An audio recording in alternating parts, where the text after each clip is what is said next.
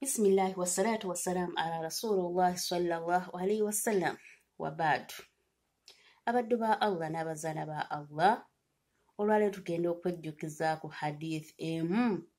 Omubaka wa allah subhanahu wataala nabbi muhammadi okusiima kwa allah kubeere ku ye yatusomesa n'aga nti omukyala bw'atuukiriza ensonga ttaano allah subhanahu wataala agenda mumugamba ayingire ejjana mu mulyango gw'aliba ayagadde omubaka wa allah subhanahu wataala atugamba nti aga nti kala rasulullah sallallahu alihi wasallama yagamba omubaka wa allah okusaasira n'emirembe gibeere ku ye.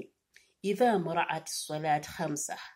Omukyala bw'asaala esswala ttaano eza buli lunaku mu biseera byazo azimanyi ozisaala nga yazisoma n'azitegeera n'azisaalira mu biseera byazo n'azituukiriza idha muraat salat khamsaha wasommatu shaharaha n'asiba omwezi gwa ramadaani n'agutuukiriza wahafidhata farjaha neyeekuuma obwereere bwe wataati zawjaha n'agondera bbaawe dakhalatul janna agenda kuyingira ejjana allah amukoola amugaa nti hajara yingira ejjana mu mulyango gwonna gwonna gw'oliba weyagadde.